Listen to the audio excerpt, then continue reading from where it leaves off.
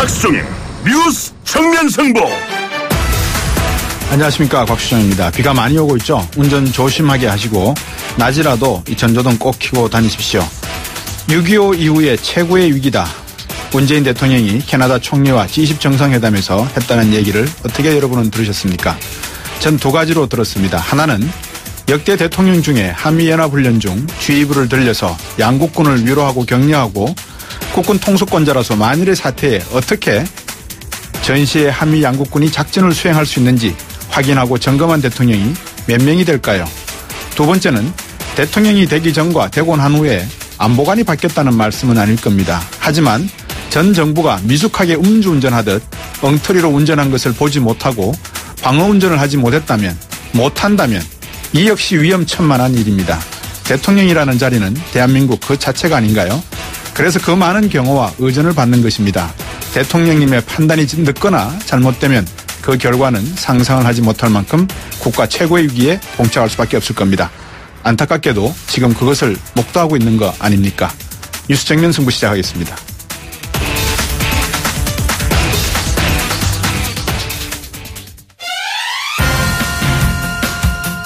일부에서는 자유한국당 홍명표 사무총장 전화 연결하겠습니다. 혁신위원장으로 유석춘 연세대 교수가 임명됐고요. 사무총장으로 임명이 되면서 당의 혁신 방향에 대해서 어떤 생각을 갖고 계시는지 들어보겠습니다. 바른정당으로 가셨다가 다시 들어오셨죠. 더불어민주당과 국민의당 강대강 대치가 지금 계속 이어지고 있는 것 같습니다. 2부에서는 더불어민주당 표창원 의원 그리고 3부에서는 국민의당 문병호 전 최고위원 각각 연결해서 국민의당과 더불어민주당 입장을 들어보겠습니다. 4부 리빌딩 코리아 시간에는 한신대학교 정조 교양대학의 김준혁 교수와 함께 정조시대의 문재인 정부의 대국민 소통 정책 비교해서 한번 살펴보겠습니다.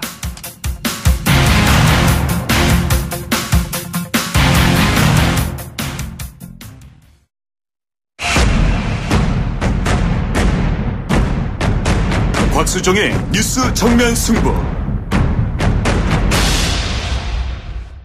네, 어, 자유한국당을 전화 연결해서 이번에 홍준표 대표 체제 하에서 어, 홍문표 사무총장 어, 체제로 사무총장이 임명이 된 것 같습니다. 혁신위원회 윤곽도 조금씩 드러내고 있는데요. 어, 우리 보수가 아, 어떤 방향으로 어, 자리매김을 해야 될지 이번 대선 이후에 상당히 갈팡질팡하는 모습인데 홍준표 대표 체제하에서 자유한국당의 모습을 살펴볼까 합니다. 청취자 여러분들께도 부탁 말씀드리겠습니다. 우물정 0945고요. 우물정 0945로 홍문표 자유한국당 사무총장께 바라고 싶은 말씀, 부탁하고 싶은 말씀 있으면 문자로 주시면 제가 전달해 드리도록 하겠습니다. 우물정 0945 단문 50원 장문 100원입니다. 사무총장 연결했습니다. 안녕하십니까? 네, 안녕하십니까. 예, 오늘 네네. 사무총장을 맡으시게 됐죠? 네, 그렇습니다. 예, 어깨가 무거우실 것 같습니다. 어떠십니까, 소감이? 그렇습니다. 너무 무겁습니다. 예, 지금 시기가 또 시기지 않습니까, 그죠? 그렇, 네네. 예, 그래서 이 대선 이후에 지금까지 아직도 보수가 제대로 가야 될 방향을 잡지 못하고 우왕좌왕하는 모습인데 어떤 각오이신지요? 뭐 지금 지적해 주신 대로 대선 패배 후에 저희 보수는 어 상당히 무너진 부분이 너무 커서 네. 그 성체를 아우르기가 참 몹시 어려운 상황인 것이 사실입니다. 네. 그래서 우선은 우리 사무처를 좀 어, 잃을 수 있는 시스템으로 재편을 하려고 그러고요. 네. 253개 당협도 우리가 좀 표현이 그렇습니다만은 고강도 당무 감사를 통해서 예. 에, 이 국민에게 신뢰를 받는 정당으로 다시 태어나기 위한 예. 저희 나름대로 차고차고책에 이제 매뉴얼을 지금 만들고 있는 중입니다. 네. 이제 이런 잣대에 의해서 네. 국민과 공감을 갖는 그런 이제 한국당으로 좀 출발하려고 예. 어, 나름대로 좀 밑그림을 그리고 있는 그런 상태입니다, 지금. 예. 이 보수의 어떤 그 뭐랄까 현재 모습을 안타까워하는 저 개인적인 모습, 어, 생각에서라도 네네. 무엇인가 손질을 해야 되고 무너진 축대도 다시 쌓아야 되는데 네네. 과연 이런 축대를 다시 쌓고 새로운 건축을 하시려 그러면 무엇이 가장 필요하다라고 생각하십니까? 어, 제일 먼저 대표께서 지금 세 가지의 개혁 그 주제를 어, 예. 이야기를 하셨는데요. 예. 이제 인적 청산이고, 예. 그 다음에는 이제 조직 문제, 예. 세 번째는 정책 이렇게 세 가지를 개혁을 하겠다 해서 예. 어, 당내 인사를 제외한 외부 네. 소위 국민의 소리를 듣는다는 뜻에서 외부 인사로 혁신회의를 구성하는 걸로 이렇게 방침을 세워서 네. 준비를 하고 있습니다. 예. 어, 오늘 일성을 어, 터트리신 말씀을 몇 가지 읽어보니까 바른 정당과 꼭 합당하겠다. 그리고 어, 뭐라 그럴까요. 어, 바른 정당의 어떤 중요성에 대해서 나름대로 고민이 깊으신 것 같은데 어떻게 바른 정당과 합당을 하실 생각이신지요? 바른 정당과 합당은 인위적으로는 저는 어렵다고 보고요. 예. 단지 바른정당이 원하고 있는 음, 그런 지금 국민들 잣대에서 지적할 부분이 분명히 한국당이 있습니다. 네네. 네. 어 그래서 방금 얘기한 인적이라든지 예. 조직이라든지 정책 부분을 예. 우리가 최선을 다하고 국민 입장에서 하게 되면은 네. 바른정당이 합당이 됐든 어떤 형태든 같이 않을 수 없을 거예요. 예. 어 그렇게 해서 우리가 국민이 공감대를 갖는 매뉴얼을 만들어 놓고 그걸 우리가 솔선해서 먼저 한다면은 네. 바른정당이 네, 외롭게 혼자 고군분투할 필요가 없겠죠. 네, 네. 그래서 우리는 대원칙을 세워놓고 네. 그리고 어, 하나하나 받고 가면은 네. 합당이라는 그런 그림이 그려지지 않겠는가. 음. 아, 이런 그 몇 가지 원칙을 갖고 있습니다. 사실 지난 대선에서 보수적 성향을 가진 국민들이 45%가 조금 넘는 표가 흐트러져 버리는 바람에 보수의 책임이 상당히 크다 안해할 수 없는데요. 이번에 네 홍준표 대표가 SNS를 통해서 모래알 부대로 전투할 수 없다. 자유한국당은 네 모든 가치가 허물어진 폐허다. 이렇게 말씀을 하신 걸로 알고 있습니다. 상황 인식 동의하십니까? 그렇습니다. 네, 동의합니다. 네. 그러면 자유한국당의 모든 가치가 허물어진 폐허다. 그럼 완전히 이거는 뭐 어, 인적 청산뿐만이 아니고 조직 문제뿐만이 아니고 정책 문제뿐만이 아니라 보수가 아, 지금까지 안보 산업 발전의 모든 음, 뭐라 그럴까요 헤지모니 헤게모니를 다 가지고 왔는데 이 자체가 사라져 버렸다 이렇게 이야기해도 되, 는 겁니까? 그것은 너무 좀 너무 확대하고 깊이 예. 들어가는 거고요. 네. 이 정치는 현실과 미래를 안 볼 수 없지 않습니까? 네.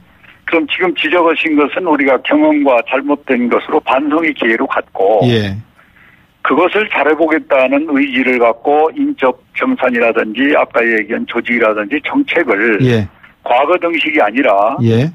어, 미래에서 반성이며 어, 앞을 볼 수 있는 그런 어떤 개혁이 아니고서는 네. 어, 지금 지적하신 대로 그 뿌리채 우리가 완전히 해산시킬 수는 없지 않습니까? 그렇죠.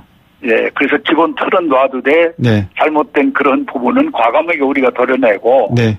그리고 새로운 어, 소위 국민이나 참자가 네. 보더라도 동의할 수 있는 잣대를 만들고 그 잣대대로 우리가 가는 것이 네. 지금 늦었지면은 할 일이 아닌가 해서 그렇게 네. 지금 어, 기본적인 패턴을 잡고 있습니다. 예, 뭐 정책 문제나 조직 문제는 사무총장이 되셨으니까 이제 당 상황을 판단하실 때까지 좀 기다려야 될 것 같고요. 그렇습니다. 예, 인적 청산 부분은 그나, 그나마 다른 어떤 사안, 홍 대표가 말씀하신 사안보다도 조금 더 도드라지기 때문에 이 친박 문제도 말씀을 하신 것 같아요. 이 친박 문제는 어떻게 하실 겁니까? 저는 지금 이 친박 문제를 총체적인 전체 그림 속에서 예. 하나의 문제로 보고 있고요. 네. 이제 대표가 그 아주 강한 의지를 갖고 있는 것이 예. 당내 인사나 현역을 뺀 예. 국민의 잣대의 혁신위원회를 구성을 이번 주 안으로 가능을 할 겁니다. 예. 그러면 거기서 나오는 모든 인적 뭐 소위 조직 부분까지도 청산될 부분이 있다라면은 네. 그 부분을 우리는 고스란히 받아들이면은 네. 그게 국민의 소리를 받아서 이행하는 것이 아닌가. 예. 어, 그래서 아마 최고회의에서 그 결의를 해서 음. 이번에 외부 인사로 전원 네. 어, 그 어, 소위 개혁을 하는 그런 시스템을 지금 만들고 있는 상황입니다. 예, 혁신위원장으로 유석춘 교수를 임명하셨지 않습니까? 그렇습니다. 유석춘 네네. 교수의 역할은 뭡니까 그러면? 아마 전권을 그분에게 주고요. 예. 지금 말씀하신 그런 혁신을 할 수 있는 전권을 주는 것이 제일 큰 그분에게 사이 일이고요. 예. 그 다음에는 그 위원까지도 예. 어, 혁신위원장에게 그 소위 인선권도 주는 네. 음, 그런 아주 어, 음. 획기적인 아주 대폭적인 그런 방법을 그분에게 지금 일을 맡기려고 합니다. 예. 어, 그 다음에 조직 문제 중에서 뭐 당내에 여러 가지 뭐 당직 문제, 인사 문제가 있겠지만 또 하나 문제는 앞에서도 말씀을 해주신 바른 정당과의 이제 합당 문제인데요. 네네. 이거는 사무총장으로서 정말 뭐 하나의 업적이면 업적이고 중요한 역할일 수 있는데 어떻게 진행을 하실 계획이십니까? 좀 더 구체적으로. 어, 아까 조금 말씀이 있었습니다만은. 예. 인위적으로 사람을 뭐 빼내고 이것보다는. 네.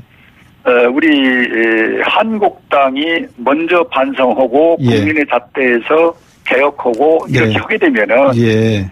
바른정당이 저는 음, 그 합당이라든지 어떤 형태든 어, 홀로 외롭게 어, 그 자리에 있을 수 없어요. 예, 예. 그래서 우리가 먼저 솔선해서 예. 국민과 많은 분들이 지적했었던 걸 반성하면서 새롭게 변화를 개혁을 하면은 예. 자연스럽게 저는 내년 음. 지방선거를 앞두고 네. 뭐 어떤 합당이랄까 음. 어떤 문제가 자연스럽게 전 이루어질 수 있는 계기를 우리가 먼저 만들어야 되겠다. 네. 어, 인위적으로 뭐 사람을 빼내고 끌어들이고 예. 그런 것은 좀 자제하려고 그럽니다. 예, 예. 그, 제가 좀 여쭤보면, 어, 반성하고 개혁하겠다라고 말씀하셨지 않습니까? 네네. 아, 저는 정말 보수를 아끼는 사람 중에 한 사람입니다. 근데 네네. 네. 아, 지금까지 대선이 끝이 나도 또 대선 어, 중에도 이 그동안 음, 전 보수 정부가 잘못했던 국민들을 실망시켰던 일에 대해서 진심으로 반성하고 사과하고 뉘우치는 그런 모습을 느꼈다라고 할 수 있는 이야기는 없는 것 같아요. 그리고 또 행동도 없었던 것 같습니다. 무엇이 진정으로 반성하고 개혁하는 것입니까? 어, 여러 번 사실은 어, 지금 말씀하신 취지에 우리가 행동을 했는데요. 네. 너무 대선이라는 폐, 큰 참패 속에 네. 우리의 그 반성이 네. 국민에게 그만큼 들리지 않았고 어. 또 우리의 절실한 그런 그 반성을 국민에게 전달을 우리가 스스로 못했고 예. 그래서 이번에는 되풀이된 얘기입니다만은 그 모든 걸 모아가지고 예. 어, 역대 정당에서 어, 개혁하면은 대부분이 당내 인사가 반 내지 3분의 1이 들어가고 예. 외부가 들어오고 이렇게 해서 했지 않습니까? 예. 요번에 한 번도 당내 인사가 안 들어가고 예. 외부 잣대로 한다는 그 자체가 음. 저는 이 정당사에 지금 처음 한번 저희들이 시험을 해보는 겁니다. 예, 예. 그리고 이제 여기서 나온 안은 네. 대부분이 이제 의원총회에서 뭐 걸른다든지 또 뭐 대화를 이렇게 하게 돼 있는데 예. 우리는 가능하면 의총에 이걸 보내지 않고 예. 곧바로 직행으로 실행할 수 있는 그런 어 지금 계획을 잡고 있거든요. 예, 예. 이렇게 되면은 아무리 좋은 개혁안도 의총에 가면은 음. 이게 그동안에 많이 어 이렇게 바뀌고 예. 그랬어요. 예, 예. 네, 넣었다 뺐다 하는 경우도 예. 있고. 그래서 이번에는 그걸 하지 말자. 예. 음? 우리가 아주 진솔하게 국민의 소리를 담은 이 개혁위원회 소리를 곧바로 실천하는 걸로 가자. 네. 지금 이렇게까지 저희들이 음. 기본 스탠스를 잡고 있습니다. 유석춘 교수가 뉴라이트에서 활동하신 분 맞습니까? 네, 그렇습니다. 예, 유석춘 교수의 성향이 어떤 분인지 어떤 혁신을 기대하고 계십니까? 이분은 저는 개인적으로는 잘 모르고요. 예. 그, 그동안에 보수 쪽에. 예. 뭐, 상당히 그, 나름대로, 어, 아주 확실한 그 소신을 갖고 계신 분으로 알고 있고. 예. 그동안에 또 그런 쪽에서 이분이 일을 해오신 걸로 저희들이 프로필을 보니까. 음. 그래서 이렇게 뭔가 일괄되게 자기 어, 그 교수든 사회 네. 활동한 것이 예. 아주 일목요연하게 한 길로 쭉 가신 분한테 한번 맡겨볼 필요가 있다. 보통 이런 생각에서 예. 예. 교수님을 모신 거죠. 보통 국회의원 공천하실 때 면접하시지 않습니까? 네네. 유석춘 위원장을 면접한다는 표현은 좀 이상합니다만 혁신위원장을 초빙을 할 때 나름대로의 이분이 네. 가지고 있는 보수적 가치가 무엇인지 이걸 다 한 번씩 들어보시지는 않으셨습니까? 뭐 해봤죠. 뭐 그분이 갖고 있는 기본적인 가치는 그 자유민주주의 국가 발전이고 시장 경제 원칙을 갖고 있더라고요. 예. 그걸 통해서 이제 국민 복지를 열어가자. 예. 이런 것들이 도처에서 우리가 찾아볼 수 있었고 네. 또저 외에 만난 분들이 지금 말씀드린 예. 자유민주주의 국가 발전, 시장 경제, 뭐 국민 복지 이런 것들을 곧잘 이분께서 인용을 해서 활용을 하셨기 때문에 네. 어, 그런 정도면은 우리가 한번 믿고 예. 이분을 모시는 게 좋겠다. 이런 음, 나름대로 어, 상황에서 이분을 예. 이렇게 모시는 겁니다. 예, 청취자분이 보내주신 문자 중에서 제가 몇 가지 읽어드리고 간단한 거 질문 하나 여쭙겠습니다. 네네. 3293번님이 문재인 대통령의 행보와 국민의 지지율을 보시고 어떤 생각을 하시고 계시는지 이번에도 어, 외교를 보시고 상당히 지지한다는 말씀을 하셨는데 계속 지지하시는지 여쭙고 계시고요. 그 다음에 또 한 분은 3496번님 자유한국당 모습을 보면 2년 뒤를 전혀 생각하지 않은 것 같아서 걱정입니다. 뭐 이런 말씀도 주셨고요. 어, 이 중에서 네. 첫 번째 여쭤봤던 3293님, 93번님이 문재인 대통령의 외교 정책을 어떻게 평가하시고 어떻게 지지하시는지 한번 여쭤보셨는데 간단하게 답해 주시겠습니까? 어, 문재인 대통령의 외교는 짧은 시간에 한국 외교가 중단됐던 걸 복원시켰다는 데는 네. 저는 높이 평가를 합니다. 예, 예. 근데 이제 내용면에서 우리가 꼭 이뤘어야 될 것들은 음. 하나도 이루지 못한 것은 좀 아쉬운 숙제로 남겠다. 네. 어, 이렇게 평가를 하고 싶습니다. 예. 내용이 무슨 것인지 대충 이해가 될 걸로 저는 생각하겠습니다. 오늘 말씀 네, 감사합니다. 네, 네. 예. 고맙습니다. 네, 감사합니다. 자유한국당 네네. 네. 홍문표 네. 사무총장이었습니다. 입으로 돌아오겠습니다.